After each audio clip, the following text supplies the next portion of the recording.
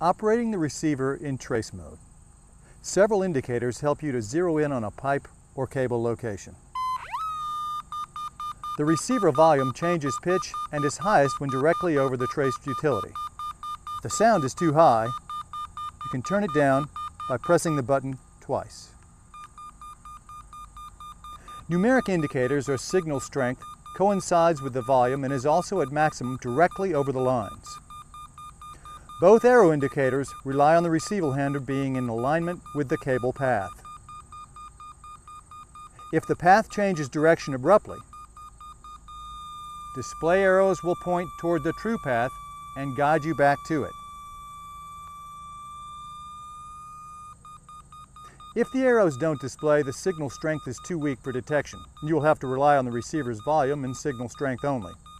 Adjust the XTPC by not pushing the up and down arrows.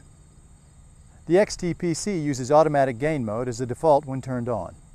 On the XTPC, use the up or down arrow buttons. Set the gain with the receiver directly over the targeted line. Use the gain control and use the signal strength indicator as a guide the gain should be set to the lowest setting that still shows a clear peak over the trace path.